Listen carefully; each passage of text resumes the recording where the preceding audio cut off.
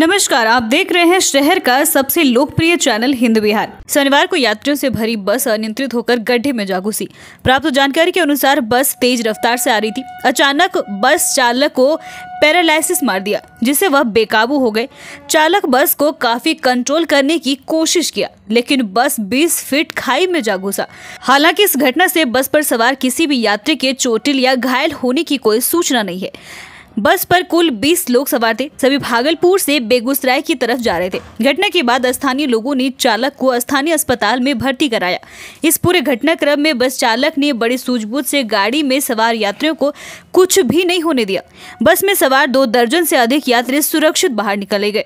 स्थानीय लोगों ने बताया कि घटना की जानकारी के बाद सैकड़ों के तादाद में लोगों की भीड़ इकट्ठा हो गई। बस में फंसे यात्रियों को निकालने में राहगीरों ने काफ़ी मदद की। घटना की जानकारी मिलने के बाद पर्वता पुलिस मौके पर पहुँची, तब तक यात्री को बस से बाहर निकाला गया था। सभी लोग सुरक्षित हैं। क्रेन की मदद से बस को भी बाहर निकाला जा रहा है। पुलिस अवर निरीक्षक पदों पर नियुक्ति के लिए रविवार को शहरी क्षेत्र के 22 परीक्षा केंद्रों पर प्रारंभिक लिखित प्रतियोगिता परीक्षा आयोजित होगी। इसको लेकर समाहरणालय स्थित समीक्षा भवन में जिलाधिकारी सुब्रत कुमार सिंह की अध्यक्षता में बैठक की गई।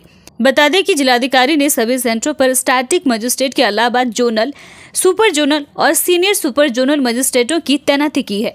परीक्षा दो पालियों में होगी। पहली पाली सुबह 10 बजे से दोपहर 12 बजे तक होगी। वहीं दूसरी पाली दोपहर दो बजे से शाम चार बजे तक होगी। परीक्षा में कुल दस हज़ार चौबीस परीक्षार्थी बैठेंगे। परीक्षा केंद्र के 500 गज तक धारा 144 लगाने का आदेश एसडीओ को दिया गया है। जिलाधिकारी ने पुलिस, अवर सेवा आयोग द्वारा जारी दिशा निर्देश से सभी दंडाधिकारियों को अवगत कराते हुए निर्देश दिया है। वहीं जिलाधिकारी सुब्रत कुमार सिंह ने बताया कि परीक्षा को लेकर अधिकारियों को दिशा निर्देश दिए गए हैं। बाईस केंद्रों पर करीब दस हज़ार अभ्यर्थी परीक्षा में शामिल होंगे। इसको लेकर हम लोग पुख्ता इंतज़ाम कर रहे हैं। परीक्षा शांति सद्भाव से हो, इसको लेकर अधिकारियों को दिशा निर्देश दिया गया है। क्योंकि अवर सेवा आयोग की जो सब इंस्पेक्टर्स की परीक्षा होती है, पुलिस की, उसको लेकर के ब्रीफिंग थी। सारे केंद्राधीक्षक स्टैटिक मजिस्ट्रेट जो प्रेक्षक की भी भूमिका में रहेंगे, इसके अतिरिक्त जोनल सुपर जोनल मजिस्ट्रेट्स भी हम लोगों ने लगाया है और सबको हम लोगों ने प्रॉपरली ब्रीफ भी कर दिया है कि टाइमली सेंटर पर पहुँचना है और शांतिपूर्ण तरीके से, निष्पक्ष तरीके से परीक्षा हम लोगों को संपन्न करानी है। दस हज़ार के लगभग कैंडिडेट जो है, दो पालियों में वो भाग लेंगे इस परीक्षा में। वरीय पुलिस अधीक्षक आनंद कुमार ने बताया कि ज़िले में दारोगा की दो पालियों में परीक्षा होगी। कुल 22 केंद्र बनाए गए हैं। परीक्षा केंद्रों पर पुलिस बल की तैनाती कर दी गई है। एसडीपीओ, एसडीओ मॉनिटरिंग करते रहेंगे। इसके अलावा परीक्षा केंद्रों पर सीसीटीवी फोटोग्राफी, जैमर की व्यवस्था की गई है। अवर सेवा आयोग, पुलिस अवर सेवा आयोग के तत्वाधान में एक परीक्षा है। सब इंस्पेक्टर एंट्रेंस एग्ज़ाम है। और उसमें सभी केंद्रों पे पुलिस बल की तैनाती रहेगी। और जोनल मजिस्ट्रेट के साथ पुलिस पदाधिकारी रहेंगे एस डी एस डी लगातार सभी केंद्रों पर भ्रमणशील रहेंगे और हम लोग परीक्षा पारदर्शी तरीके से शांतिपूर्ण तरीके से संपन्न करा लेंगे। कितने सेक्टर बनाया गया है ये सेक्टर तीन तीन चार चार जो सेंटर है उनको मिला के एक सेक्टर बनाया गया है और सभी सेक्टर में पुलिस पदाधिकारी और मजिस्ट्रेट की नियुक्ति की गई है।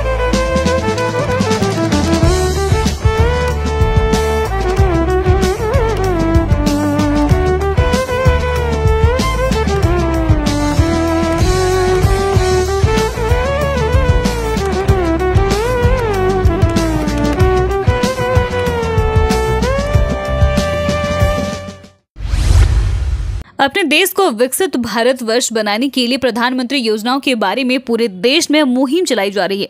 प्रधानमंत्री के तहत कई योजनाएँ चलाई जा रही है, जिसकी जानकारी जनता को अभी भी पूर्ण रूप से नहीं है। उसको जागरूक करने के लिए देश के हर कोने में जागरूकता कार्यक्रम कराया जा रहा है और साथ ही लोगों को जागरूक करते हुए रजिस्ट्रेशन भी कराया जा रहा है। चाहे वह प्रधानमंत्री आवास योजना हो, प्रधानमंत्री पेंशन योजना हो, आयुष्मान भारत योजना हो, या फिर अन्य कई प्रधानमंत्री से जुड़ी योजना हो, लोगों तक पहुँचे और देश विकासशील बने, इस उद्देश्य से ऐसे कार्यक्रम को बताया जा रहा है। इसी बाबत आज का यह कार्यक्रम भागलपुर के तलका मांझी चौक पर आयोजित की गई है, जिसमें सैकड़ों लोगों ने हिस्सा लिया। मोदी सरकार की गारंटी और हमारा संकल्प विकसित भारत की शपथ के अंतर्गत ये कैंप चल रहा है कि दो हज़ार सैंतालीस तक हम पूरे जो प्रधानमंत्री नरेंद्र मोदी जी का सपना है, उसको साकार कैसे करें कि ये पूरा भारत आत्मनिर्भर बने और विकसित बने और जो सेवा सेवा दे रहे हैं इस भारत की सुरक्षा में, उनका हम सम्मान कैसे करें? और जो अंतिम पंक्ति पे बैठे हुए व्यक्ति हैं, उनको कैसे हर किस्म का नरेंद्र मोदी जी के योजनाओं का लाभ मिले? उसकी कैंप है ये। उसकी जानकारी उपलब्ध कराना और उनका रजिस्ट्रेशन कराना, चाहे वो प्रधानमंत्री जी का आयुष्मान कार्ड का योजना हो। एक युवक विद्युत विभाग से तंग आकर अनिश्चितकालीन भूख हड़ताल पर बैठ गया। जिसके समर्थन में दर्जनों लोग भी विद्युत विभाग के खिलाफ आवाज़ बुलंद करते हुए भूख हड़ताल पर अपनी मांगों को लेकर बैठे हुए हैं। मामला भागलपुर के पर्वती कालियास्थान रंगमंच भवन का है, जहाँ पर्वती के रहने वाले मुन्ना कुमार शाह के साथ उनका समर्थन करते हुए दर्जनों युवक अनिश्चितकालीन हड़ताल पर बैठे हैं। उन लोगों का साफ़ तौर पर कहना है कि लाइनमैन मनोज पंडित हम लोगों के पूरे क्षेत्र में दहशत फैला रखा है। सभी कंज्यूमर से अनाप शनाप पैसे माँगता है। जबकि हम लोगों का मीटर से बिजली चोरी होने का कोई ऐसा उपाय ही नहीं है। मीटर भी सिल है और तार भी कहीं से कटा हुआ नहीं है। फिर भी हम लोगों पर विद्युत विभाग आरोप लगा रही है। यह कहीं से सही नहीं है।